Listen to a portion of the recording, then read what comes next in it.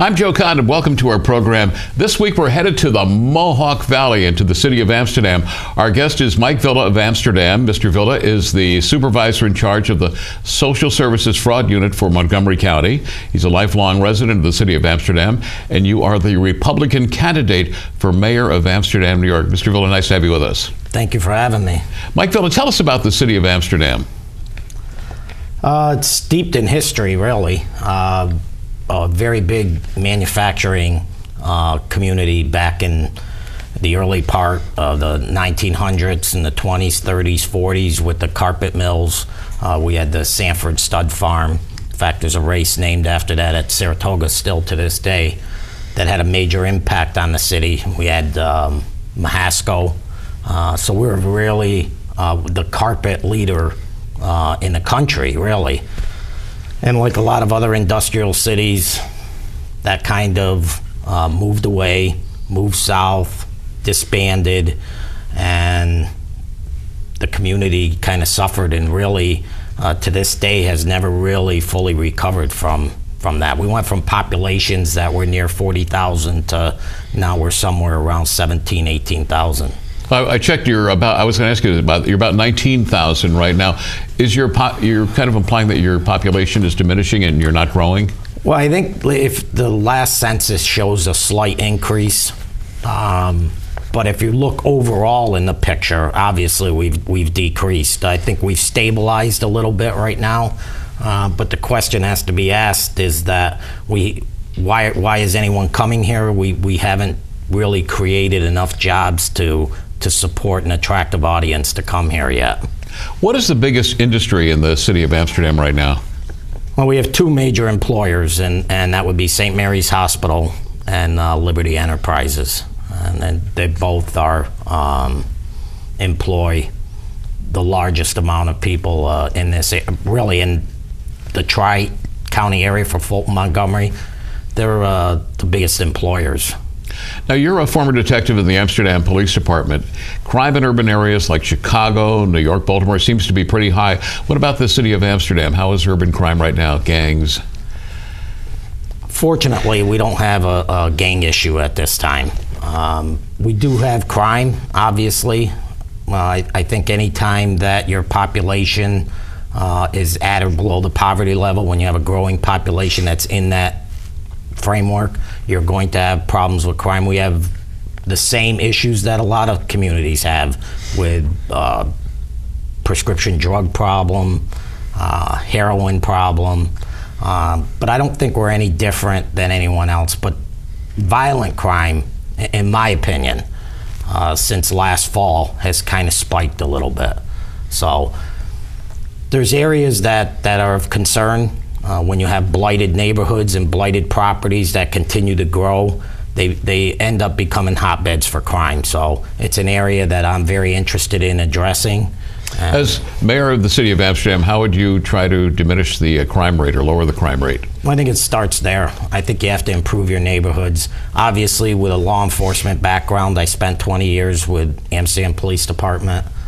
Uh, I have my own ideas on, on what I think can improve uh, where we are today. I think the police department does a fine job, but like anyone else, I have my own ideas on how I would attack certain areas that I see to be a problem. So I think I bring that level of experience um, uh, to that problem. What do you think of Governor Cuomo's uh, SAFE Act? Do you think it's been beneficial for the city of Amsterdam or made any difference? As a retired police officer, and currently a welfare fraud investigator. I'm a huge Second Amendment supporter. Okay. And so um, I think New York State has the strictest gun laws already in place. And if you look at, I mean, if you go nationwide, I mean, the city of Chicago has even stricter laws than we do. And you can see their homicide rate has spiked dramatically over the last two, three, four years. So I don't think it's so much of uh, in New York State of restricting gun laws any further. I don't think. I think all you're doing is restricting the the people who uh, use guns uh, that have grown up with them. We're a community really that's rural.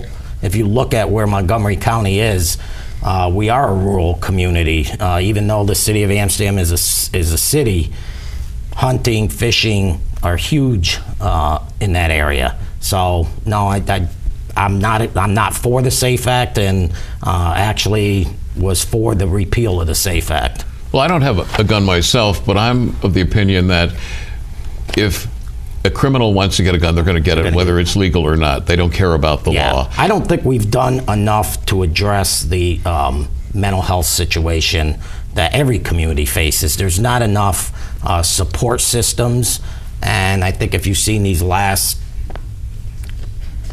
killings that have occurred nationwide, uh, there's been a background of, of mental health issues where the system has failed that person. And so I think that's the area that really needs to be attacked. One more uh, police uh, question about the city of Amsterdam. There seems to be a very big anti-police feeling in the United States of America. Has that translated down to uh, the attitude of Amsterdam citizens towards your police? I don't see it. I really don't. I think we have a great community. I think people uh, respect uh, the police officers, and it's sad to see what's going on uh, nationwide because when, when you start losing that first line of defense, when they become a target, um, we are all in some serious trouble because that first line of defense, when something goes wrong, who are you calling? So I think the attacks on police are um, unjustified. Of course, there's bad in every group and every career, uh, but overall, if you look at the amount of arrests that are made nationwide, it's minuscule. Uh, the percentage of of things that occur that are um, improper, or maybe an officer wasn't trained properly, but you have to applaud anyone that wears a uniform today. You were telling me the other day that one of the things that you want to do as mayor of Amsterdam is to revitalize the uh, downtown area. Want to talk about that? We do need revitalization because I think if you look at um, areas that, that have, were industrial once or um, really struggled, the way they brought themselves back was uh, through tourism. Uh, that's been a big boost to many areas, to many communities. But in, in, in attracting tourism, you have to be attractive. So it, it has to start with we have to rebuild uh, the neighborhoods in the city of Amsterdam. We have to really attack the blight. We've allowed um, ourselves to uh, build this 600 plus homes that have been falling in disrepair and finally going to foreclosure, where we did not do a foreclosure for that entire period of time. So we've now got this mass accumulation of blighted properties, abandoned buildings.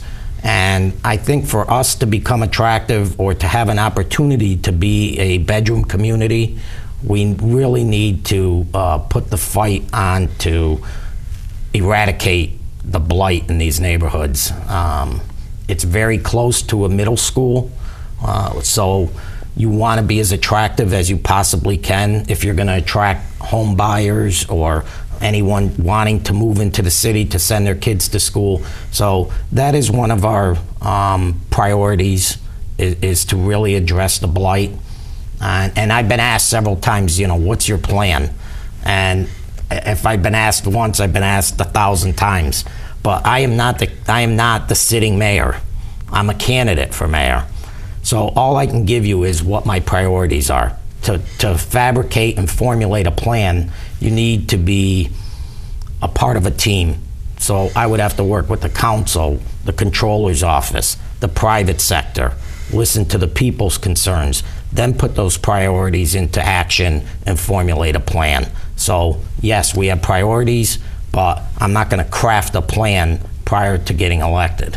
Now, you feel that revitalization of the neighborhoods would then bring about uh, more businesses coming to the city of Amsterdam? I think uh, as elected officials, the one thing or two things that we owe uh, the residents, the taxpayers, is a place where people want to live and a place where people want to do business. And I think we have failed in, in, in those two areas. So I think when you address that, when you address the areas that people see as, as run down, I'll describe for you. Montgomery County did a very extensive um, survey that was uh, extensive and expensive. and entailed many, many things to try and improve and see where the county could grow and, and become um, inviting to businesses and to people, home buyers. When they described all the other surrounding areas, Fort Plain, Canajoharie, uh, all the areas of the county, it was rural, pleasant, nice, agriculture. When they described Amsterdam, both interviews done with elected officials and with residents all came up with the same answers uh, crime, poor, rundown. We have to change that perception. If we don't change that perception, we're never going to attract either businesses or another generation of home buyers. So we have to start from what we have now before we jump into other waters um, on building other things or creating other things. We need to fix right now what we have. That's what I believe is it would have to be the plan to make us um, attractive enough to, to get tourism for the pedestrian bridge to bring people in that would want to come here and it's a it is still a beautiful city we have a lot of positives we have a beautiful golf course Robert Trent Jones Golf Course. You'll be hard pressed to find a better public uh, golf course in the entire United States. Uh, we have Shuttleworth Park where the Mohawks play, a great venue to bring your family and, and spend a night. So we have jewels. We have water, an abundance of water. That really is our crown jewel. So we have to find ways to market that, to improve it, to maybe share with into Fulton County and even into Saratoga County because we have that much water.